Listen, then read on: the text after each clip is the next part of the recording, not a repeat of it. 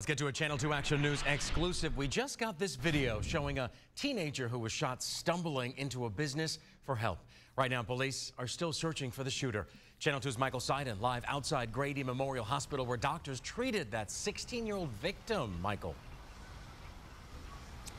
And George, right now we are still working to get an exact condition. We know that that teen uh, took two shots to his leg. We are told he is expected to make a full recovery.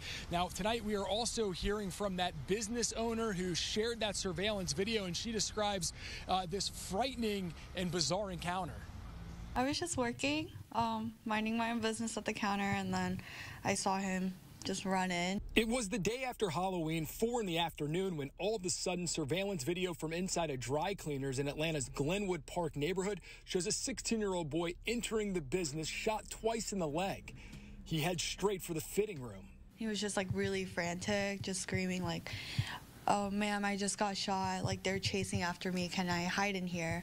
Um, so I just kind of let him hide in our fitting room. Um, and then in there, he was like calling his mom and then like really frantic. This business owner, who's asked us not to identify her, told us at first she was confused. Didn't see any blood, like, no, like just like two small holes in his pants. But that feeling quickly turned to fear after she learned the gunman may still be in the neighborhood. Screaming and crying, like asking me to not let anyone in. Um, if I see anyone chasing after him, just like don't let them in, um, lock all the doors, call 911. According to APD, the team was inside a parking deck on Glenwood Avenue when someone started shooting. Right now, police are still looking for the suspect.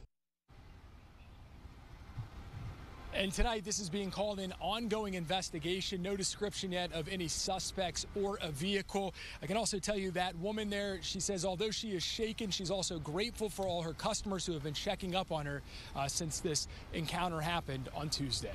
For now, we're live in downtown Atlanta. Michael Seiden, Channel 2 Action News.